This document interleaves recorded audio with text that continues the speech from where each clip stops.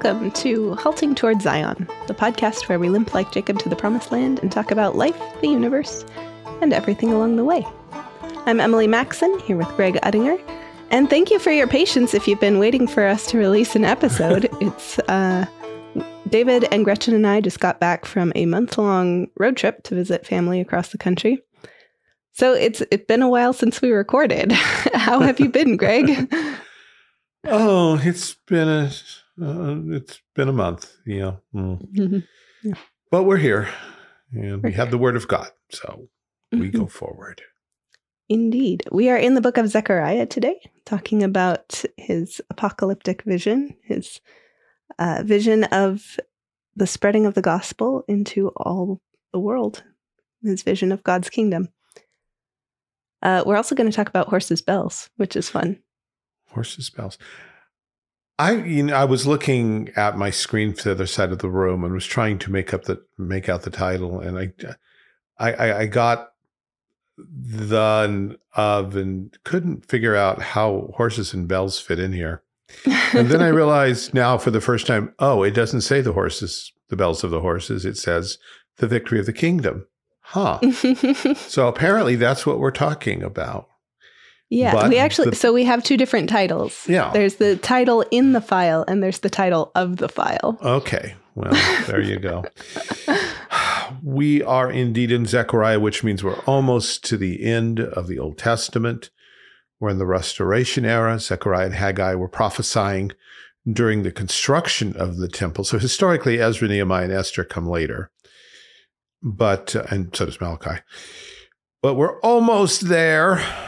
And as God's people have returned from captivity and are thinking about building the temple and then eventually decide to build a temple and then build a temple, Zechariah is prophesying. Haggai too. Haggai's messages are short and pointed and generally amount to get back to work and stop worrying about things that God's got covered. Zechariah's are far more difficult, far more intricate. Uh, the imagery is drawn from uh, Old Testament history and liturgy, and sometimes the images are complex. Sometimes they're sharp and pointed, and and we can say, "Oh, wait, a king coming on a donkey! I know what that means. Thirty pieces of silver. I see that." And some of the others are, I'm not sure what this means. Uh, this is the one with the the lady in a basket being carried right. by storks. Yeah. Yeah. Yeah. That That's a little more obscure. Yeah. And, and there are others that are obscure. Some are, some are pretty plain, at least in what the message is, although some of the details may be hard to track. There is a Peanuts cartoon where um, Sally comes to Charlie Brown, who's watching TV, and announces that she has to do a book report on Zechariah. And Charlie says, "Yeah." Charlie says, "Well, let me let me know if if you need any help." And in a unique way, Zechariah is one of the most important books in the Old Testament. That's that. That's the entire cartoon. I'm not quite sure what Charles Schulz was trying to accomplish, except maybe he had read Zechariah and thought it was worth a mention. It is an important book. It does lay a lot of ground for the book of Revelation. And so it if we want to understand what Israel thought they were thinking about Messiah, and then what Jesus told them they should be thinking, and then what the book of Revelation says. Yeah, this is it. Here it is all laid out in more visions. It would we would do well to learn a little bit about Zechariah. We're not going to talk about the whole book. We've talked about bits and pieces already. But we're coming down to the last few chapters. And and Zechariah is getting exceedingly messianic in his visions. He in um, chapter 12, actually goes back even further, chapter 11, we have Messiah presented as a shepherd who looks after God's sheep, but and he dismisses the bad shepherds and they hate him and he doesn't like them. But even the flock in the long run isn't okay with any of this. And and the Messiah, the shepherd, throws in his staff, as it were, and says, Fine, I'm done here. Weigh me my price or not. I don't care. And they weigh for his price 30 pieces of silver. And the Messiah says, Wow, cast it to the potter in the house of the Lord, this goodly price I was prized at. And all of this found a more or less literal uh, fulfillment when Judas betrayed Jesus for the 30 pieces of silver. the price taken out of the temple treasury and then returned by Judas in frustration when he threw it back into the temple. And they, the, the Sanhedrin used it to buy a potter's field. So the money did end up passing through the temple and going to a potter. So that's, that's all background.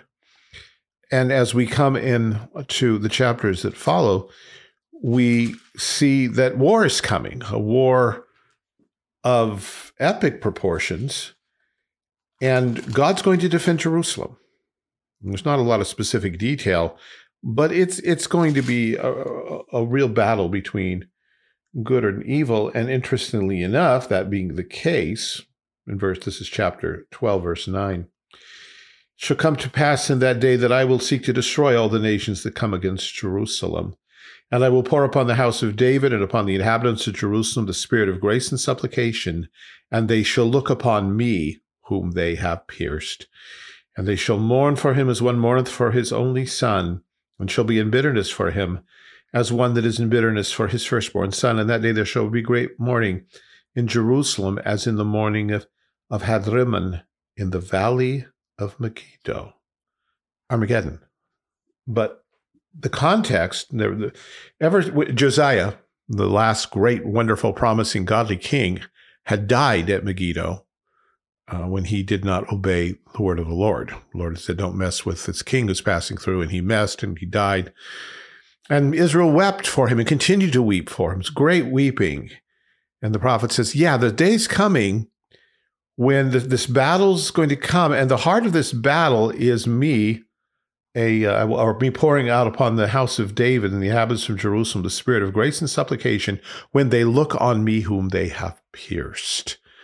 And again, we can all say, "Oh, wait, wait, wait! We know that. That's that's the cross. that's the Roman soldier piercing Jesus' side." Yes, it is. They will look on me, whom they have pierced.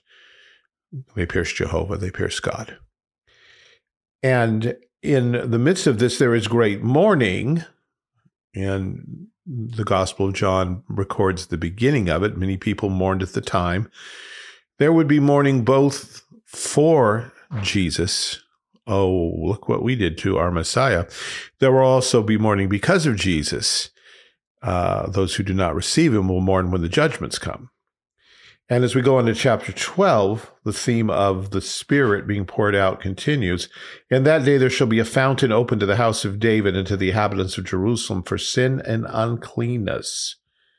So now the, the shift is from the Spirit being poured down to a fountain bubbling up, but the idea is the same. It's for sin and uncleanness. This great war, this great tumult at the end of the Old Covenant age spins around this Messiah whose death, his side is pierced, opens up a fountain, a cleansing fountain for sin and uncleanness, and enables the outpouring of the Spirit. That in itself would, would be just incredibly wonderful. But then we come to chapter 14 and we're told a little more. And this is where we're going to spend a little bit of our time. Let me let me read some of this and we'll talk about it. Chapter 14, verse 1 Behold, the day of the Lord cometh, and thy spoil shall be divided in the midst of thee. For I will gather all nations against Jerusalem to battle, and the city shall be taken, and the house is rifled, and the women are ravished, and half of the city shall go into captivity, and the residue of the people shall not be cut off from the city. Then shall the Lord go forth and fight against those nations as when he fought in the day of battle. And his feet shall stand in that day upon the Mount of Olives, which is before Jerusalem on the east. And the Mount of Olives shall cleave in the midst thereof, toward the east and toward the west, and there shall be a very great valley. The half of the mountain shall remove toward the north, and half of it toward the south, and you shall flee into the valley of the mountains, for the valley of the mountains shall reach into Hazael. Yea, you shall flee like as you fled before the earthquake in the days of Uzziah king of Judah. And the Lord my God shall come, and all the saints with thee, and it shall come to pass in that day that the light shall not be clear nor dark, but it shall be one day which shall be known to the Lord, not day nor night, but it shall come to pass at evening time. It shall be light, and it shall be in that day that living water shall go out from Jerusalem, half of them toward the former sea, and half of them toward the hinder sea. In summer and winter shall it be, and the Lord shall be king over all the earth. And that day there shall be one Lord, and his name one. And there's more. Uh, but the the image of war comes up again, and it's very clear what why this is coming. God gathers all nations against Jerusalem. This is chastisement. This is punishment.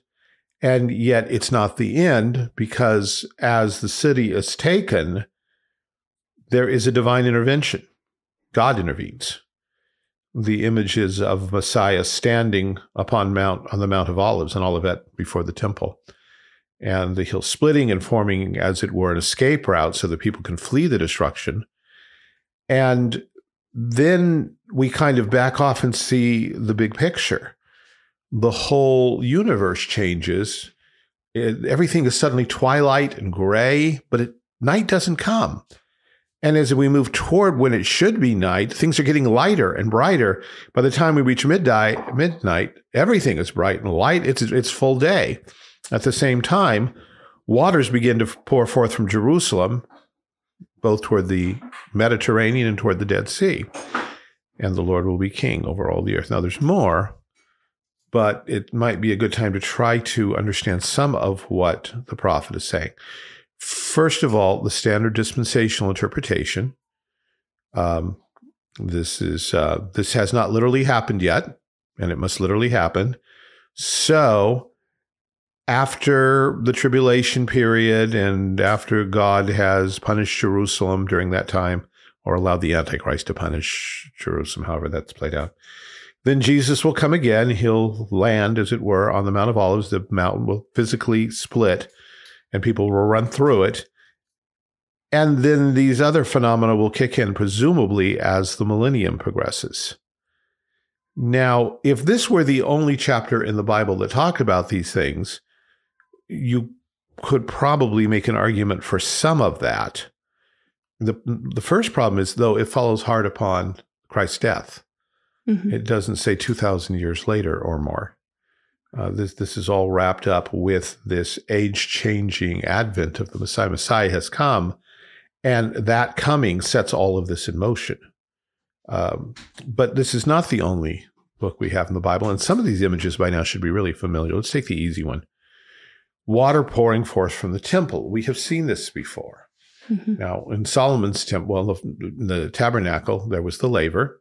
It's a rather small basin from which you could drain out water to wash your hands and perform ceremonies. In Solomon's temple, there was this huge bronze sea, which contained lots and lots and lots of water. And there were little chariot things that carried lavers of water. At least in theory, they looked like they could. They had wheels. So there's the idea that there's more water, and the water could, at least is pictured as moving, and maybe it actually could move, although no obvious reason for it to.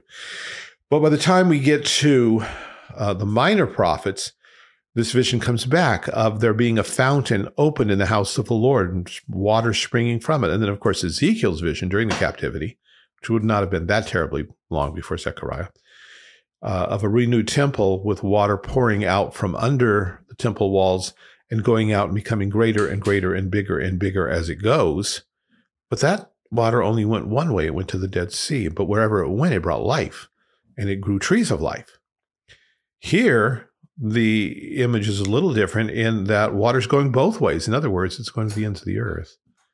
Uh, and if we're going to let Scripture interpret Scripture, when we come to John's Gospel, we should remember the words of Jesus Whoever thirsts, let him come to me and drink. As the Scripture has said, out of his innermost being will flow rivers of living water. And by the time we get to Revelation, we see the water of life proceeding from the throne of God and of the Lamb and going out in the world. So this this is a standard image, and we don't get to sidetrack it just because it makes sense to us to literalize it and say, well, but no, it's water, so it's just you know, um, the, there's going to be a lot of water, and that's yeah. Significant for some reason. And there's also Jesus saying outright, standing in the temple. Yeah. yeah, standing in the here, temple. Here I am. Declaring, I am the I am yeah. The fountain. I'm the fountain. Now, if we go a little bit further in the prophecy, it says this And all the land shall be turned as a plain from Geba to Rimmon, south of Jerusalem, and it shall be lifted up and inhabited in her place, from Benjamin's gate unto the place of the first gate unto the corner gate, and from the tower of Hananeel unto the king's winepress. Now, that's again a little odd Jerusalem and the area round about is going to be lifted up like a mountain. It's already, of course, Jerusalem is a kind of a mountainous city to begin with, and temples on, on Moriah, which is a mount. But here, the whole area is lifted and exalted. And remember, the water is still flowing. So apparently, as you get higher and higher with this thing, the water is plummeting down over the edges and going two different directions. One, uh, one writer in eschatology I read years and years and years ago said that he he visualized all of these details and very literally, and he sat back and said, "Why?" I mean, if God, if that's what God's going to do, that's God's business. But literally speaking, what does it? What good does it do anybody to turn Jerusalem into Mount Everest? And what does it good does it do to have rivers flowing from it to the Dead Sea and the Mediterranean? Why is that such a big deal? Um, that it's light all the time. Okay, that you can kind of see why that might have some physical effect but the why is still there. What what is God getting at? Well, here again is an image that we've seen before. We've seen it in Isaiah two and Mal- in um, Micah four, where Jerusalem and the Temple Mount are exalted above all the hills and all the mountains, and all people flow up to them. And people say, "Come, let's go to the house of the Lord and, and worship Him and learn His ways." So we've seen this image, this the Temple Mount being exalted, or all Jerusalem being exalted.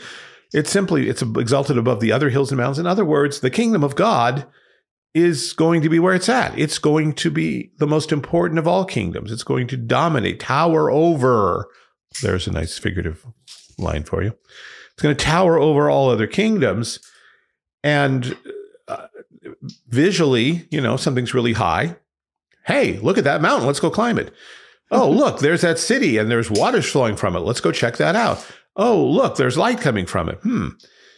So God is giving us through visual metaphors the idea of He's making this thing, this kingdom, this worship, very visual, vivid. Um, there's a word I'm for, can't find that amounts prominent, I guess, so that people will look at it and see it and say, "Whoa, that's something to be reckoned with." Yeah, it's a home for the lost too. Like if you get lost in the wilderness, you follow the water upstream yes. to the top of the hill. And you go for the high ground because once you get there, you can see what in the world's going on. Yeah. So th- th- it's very practical in that sense. And, and again, we're tapping metaphors that the Bible itself has already built. And this, this is a fundamental rule of hermeneutics that, that some people don't get.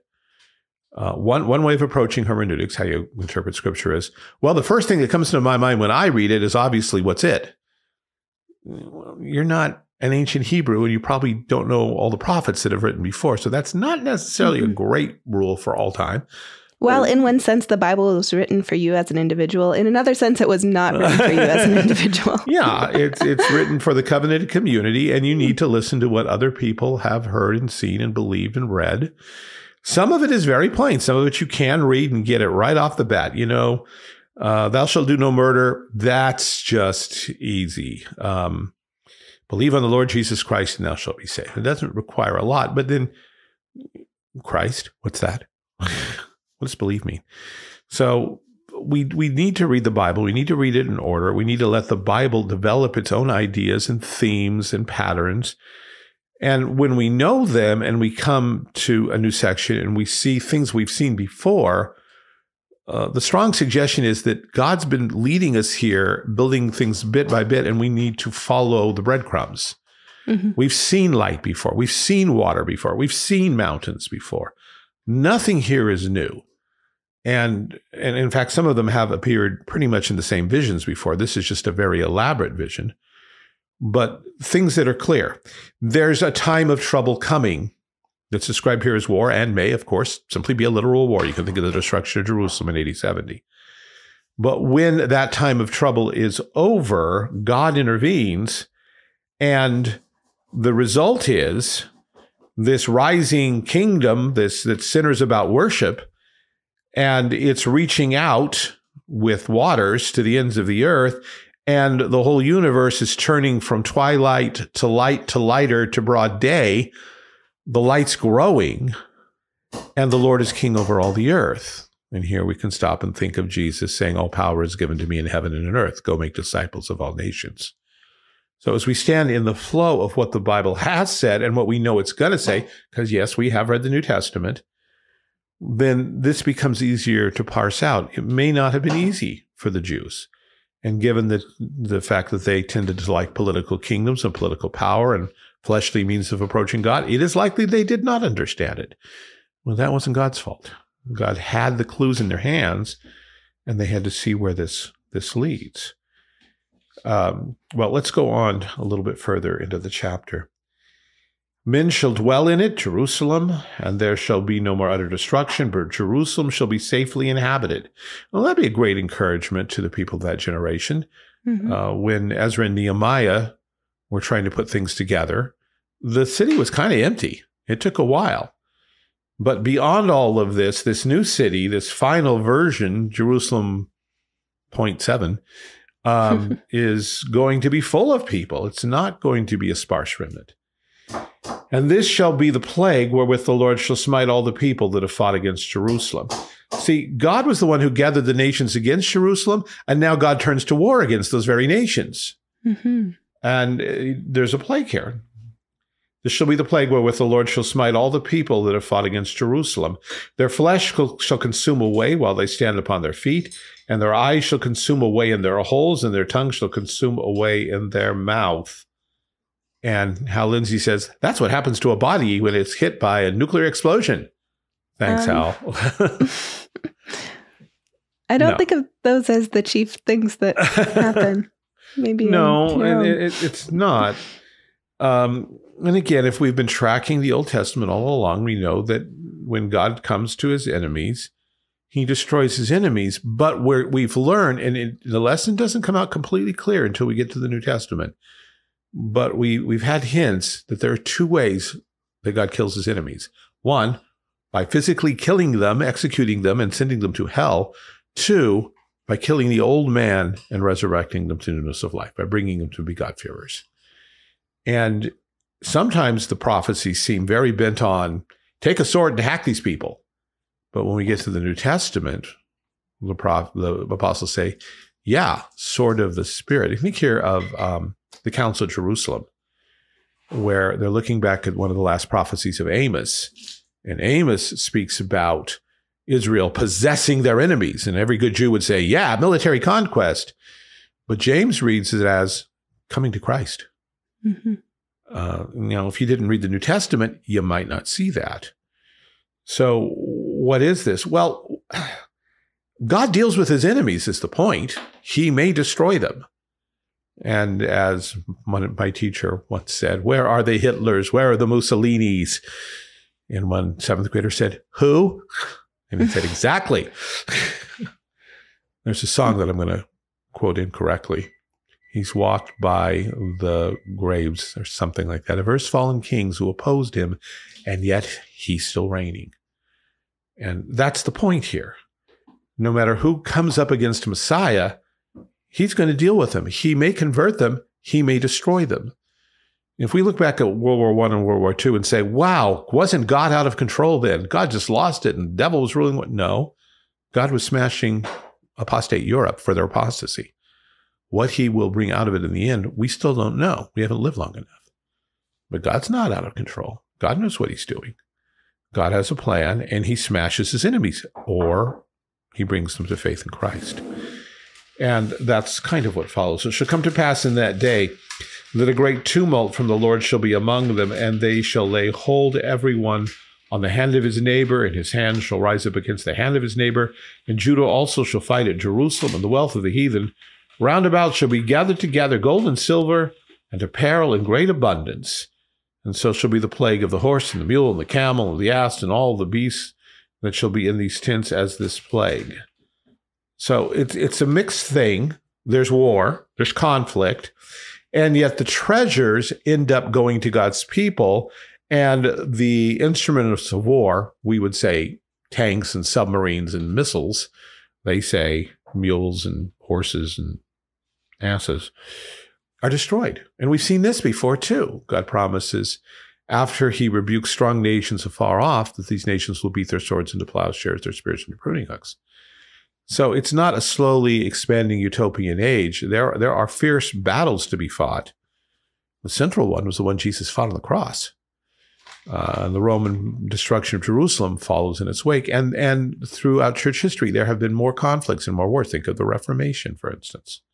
or the Um, councils. or the church councils and the evangelism of Northern Europe. Uh, there have been many kinds of battles on many levels. And yet, God keeps funding his kingdom, and God's people inherit the wealth of their enemies in the long run. And little by little, God plans on getting rid of the, the weapons of war.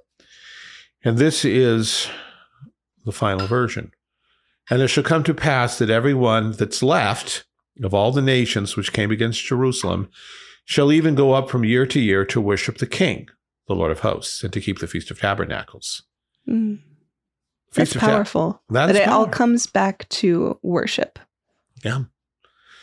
Yeah, they come. The, the victory is that they're worshiping Jehovah, hmm who, in context, is Messiah. They're worshiping the Messiah, who is the Lord, who is Jehovah, Yahweh. Um, and they come to keep the Feast of Tabernacles. Now, the New Testament has abolished the old Sabbaths. That's very clear. So, is God going to revive them? Well, dispensationalism says yes. God's not done with Israel, so the, the temple will come back and the sacrifices and the the celebrations, the festivals. Like, um, no.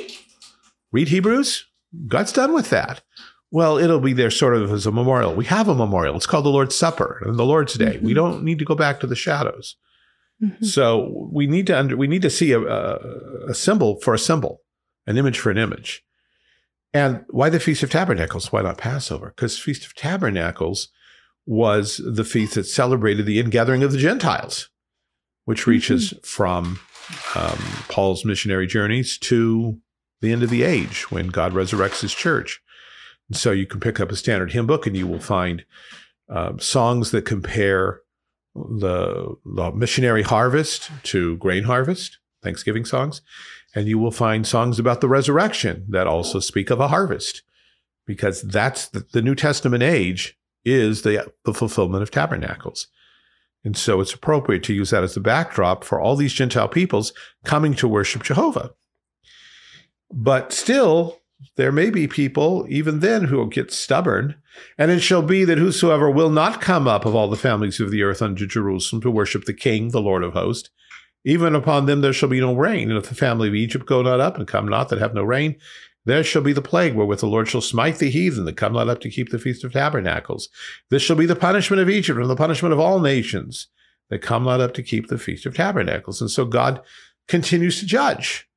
It's not the utopian golden age that some people have described. It is a victory for God's kingdom, but there are there is dissension and there's rebellion and there's apostasy, and God whaps it down real fast.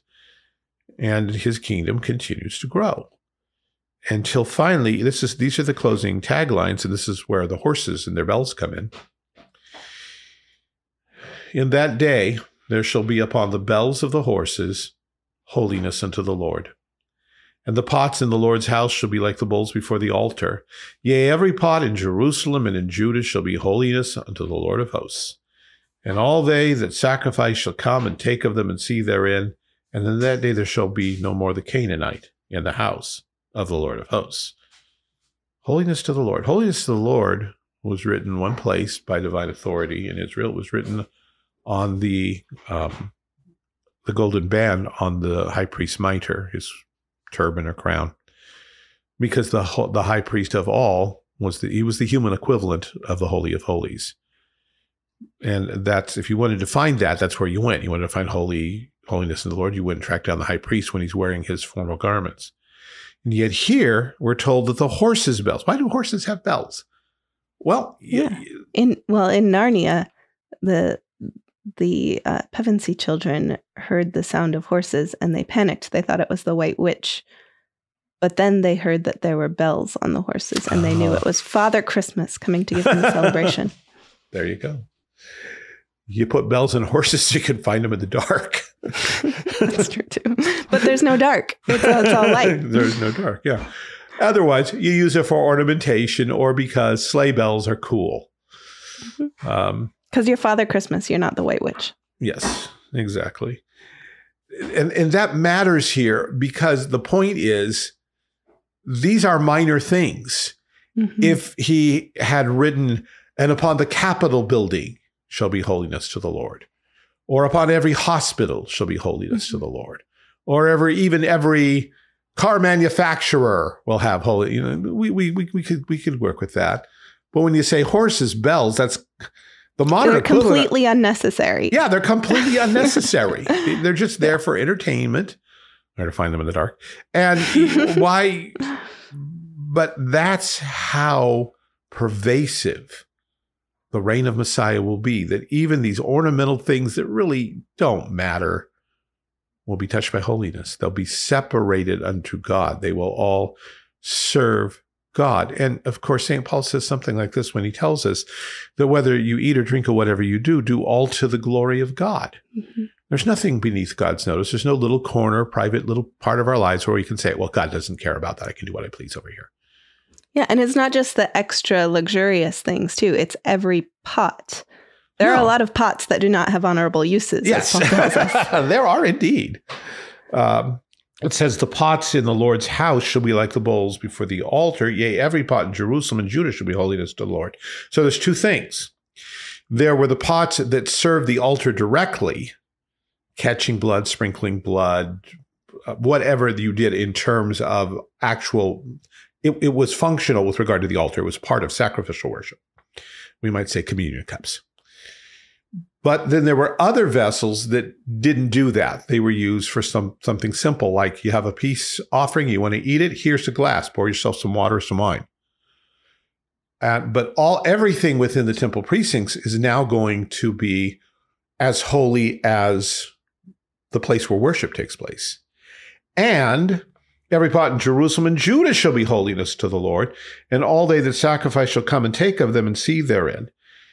But they shall be what does it say? Every pot shall be holiness unto the Lord. Oh, or the one before that, the pots in the Lord's house shall be like the bowls be- before the altar. Similarity, but not exactly identity. This doesn't mean that every activity now becomes a valid worship activity in the sense that you bring it into the Lord's presence on the Lord's day, Mhm. and just before communion, you ring, you trot in your horse and ring its bells, or you drive in your Volkswagen and go, "Eh, eh," or you drive your Harley up on stage. My Harley's holiness to the Lord today. Well, yes, it is, but not like that. It's not. it is, Yes. but it's not meant to be directly involved in corporate worship. no, it's not for corporate worship, not for formal worship, not worship around the word and sacraments. But even your Harley and your Volkswagen and your horse were to dedicate to the service of God because Jesus claims everything. Again, Kuyper's great line there's not one square inch in all the universe of which Jesus does not say, It is mine. And whereas Kuyper said that, he was never quite sure that it would ever be fulfilled because that would take like a worldwide spread of the gospel to the conversion of millions and the discipling of nations. And whereas he saw what that might look like, he never was convinced it would happen. And the Dutch tradition since then has been less and less convinced. They they've drawn up wonderful plans for reform, sometimes wonderful, sometimes not, for reforming this area and that area. But if you ask them, so is this going to happen? Well, we can make efforts. Yeah, and should, but is this ever going anywhere?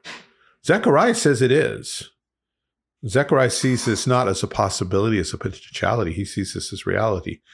When it is eternal day, when the waters reach the ends of the earth, when the Lord is king and all opposition is put down, then every area of thought and life will be consecrated to God, even the little extraneous things because Jesus does not want any idols in our heart. He does not want us to have even little idols or little things that seem unimportant or neutral that somehow we would think, well, being God and all, he surely doesn't care about fill in the blank.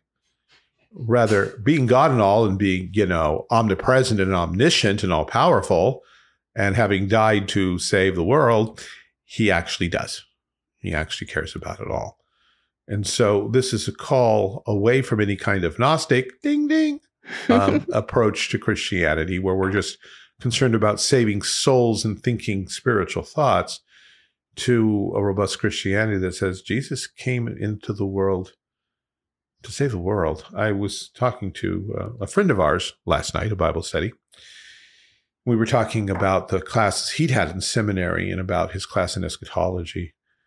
And uh, I, he had some good criticisms of the classes he took in that they seemed to be too detail oriented about one specific chapter of the Bible. Hmm. And uh, I said, yeah, I, you know, really, eschatology is the outflow of your soteriology. Mhm. Once you decide what it means that God's going to save the world, that will tell you what eschatology is. If it means he's going to save a handful of souls for heaven, that's going to give you one sort of eschatology. Well, he's going to save one sort of souls for heaven and pieces of land for the Jews. Okay, that's a very different eschatology. And he's going to save everything that Adam lost and give it back and more besides. Then that's a very different kind of eschatology again. And, and and my own belief is if you're going to study eschatology, you don't start with eschatology. I did when I was about 14. I was handed books on eschatology by a friend of mine, older man, and I read them all. Don't have, that's not the way to learn the Bible. It really isn't. Eh, God used it to kickstart me, but that's I, I, I, the forms were there, the pieces were there, but I had a lot to learn before I could come back and say, "Oh, that's why they're there. This is how this fits." Mm. and a few things had to go and some things got reoriented and some things were yeah that's right because jesus saves the world. And that's what this vision is about. Jesus is saving the world and that means it reaches down into our heart and out of our heart come the issues of life. Ideas have consequences. And all of those phrases Kuyper's own phrase life in its fullness is religion or religion or um, culture is religion externalized. What we who we are as transformed believers in Christ necessarily is going to affect everything. And the more we grow in Christ, the more it will. Um, the mistake here that some have made is to look at the Bible and draw up a plan of, well, what will that look like? Now, let's get there somehow. that's mechanical and that's often the work of the flesh. And that can be easily become utopian. What we need to do is become more Christ like and win others to become more Christ like. And then look at the Bible to see what Christ likeness is like. And as He grows us, then we'll start paying more attention to some of the horse's bells and the car's horns and the car's bumper stickers. it's not enough to write on your car holiness to the Lord. Our driving habits need to be holiness to the Lord, along with everything else. Isn't that comforting that it's, you know, we don't have to make the plan. Just Yeah. our job Yeah. is to do our job. Our job is to do our job. Yeah. Uh, yeah, I was asked by a, a gentleman, old friend of mine, not long ago about I see where our culture is going and I see the dangers that are coming upon us and how bad it could be. What decisive thing ought we to do as Christians right now so that we can leverage it all and change the world? I said, do your job. Be you. Mhm. Be the person God made you to be. You Mhm. have these skills, use them. But Jesus isn't magic. Magic and Jesus don't work well. There are no secret magic tricks to save the world. Jesus has saved the world. We work it out in fear and trembling, little at a bit, one day at a time, with what God has put in front of us. And that is so contrary to the flesh that no one gets it. And when they hear it, they say, Oh, you mean take a political takeover?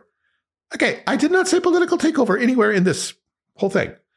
But that's what people hear because that's the only way we know of gaining power and changing things Mhm. because we bought into that system of the flesh for so long.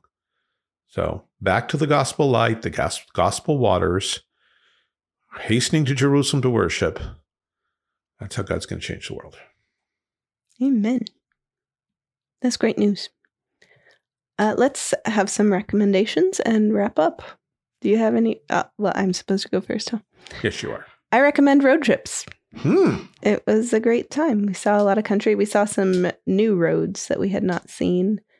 Um, we came through the Bridger Teton National Forest, which was quite lovely. Um, that's western Wyoming into Idaho. It was really cool.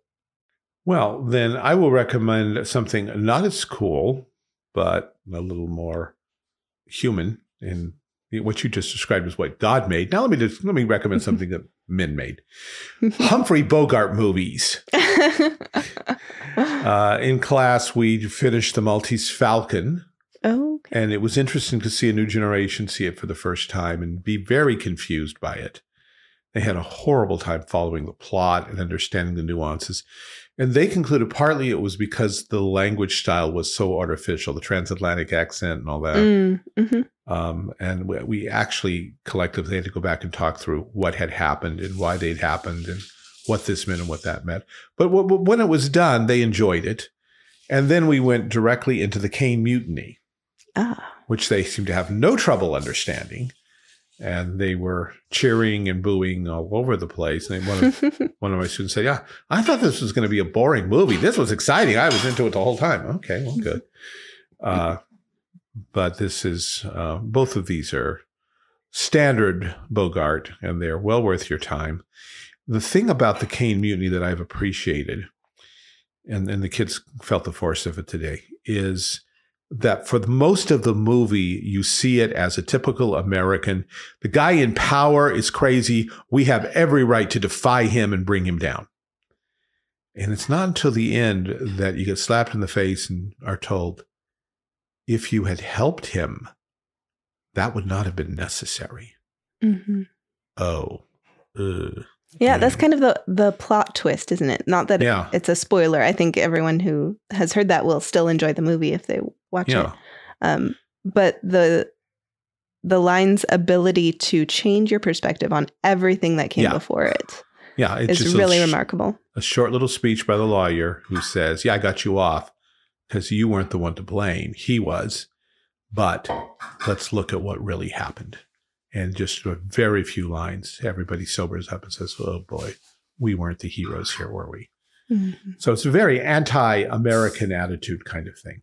Mhm. Uh, we're used to, you know, the big guys are in power. They're crazy. They're doing things wrong. We have the right to bring them down. Well, you know what? Generally, we don't. Um, Yep. especially when they reach out and say, however poorly, I need help. Um, so, anyway, and of course, you can continue with Casablanca. Which yes. is, yeah. I love it. Uh, and then maybe Key Largo or one or two others. But if you if you have a family and your kids have never seen these, this is these are good movies to stop and take watch together as a family, and then talk through. Of course, you do that with any movie I would trust, uh, because they're uh, these they're not Hollywood's not Christian when it's producing these, but sometimes they do have valuable insights into how humans move and think. One of my kids today asked, "So who was the hero in this?" because he was expecting, you know, a black and white. There's a hero and there's a bad guy. Where's I lost the hero? Where'd he go? Well, that's there is kind of one, but it depends what you mean by hero and what you're looking for. There is a guy who shines the light in and makes everything clear, but we don't like him that much. And then there's the guy we really like, but it turns out that he probably made a huge mistake in all of this. So things to think about. Humphrey Bogart Mhm. movies. And if and if the people I'm talking to don't know who Humphrey Bogart is, whoa, you're overdue. Google it. Oh yes. Oh, and my wife includes Sabrina, the original. Oh yes. Yes. We watched that not too long ago. Yeah. Can I complain? Can I take a minute to complain Yeah. about a plot twist that did not like it changed my perspective, but not in a great way? Uh-huh. The book Rebecca by Daphne Oh. du Maurier. Yeah. You didn't like it. Why like do it? people like that book? I don't get it. like it was well, we should have my wife on to answer that Yeah. question, I think. Mhm. It was just like it was a compelling story. The plot twist does change your spe- perspective on Oh, everything that's absolutely. happened, but also you still don't like anyone. Yeah. yeah. Yeah. It's it's 20th century literature. You're not supposed to like anyone. I want to like somebody. it's not Dickens anymore. I'm sorry. Or Oh, even Mark Twain. Certainly Okay. not Charlotte Bronte. No. All right. Well, we will end there. Thank you so much for this conversation. It's been a delight. Uh, thanks also to David, our producer, and my lawfully wedded husband and road trip buddy. Uh, thanks also to our transcriptionist. Um, the transcripts for this episode are available through our Substack if you want to subscribe to that and get us in your inbox every week.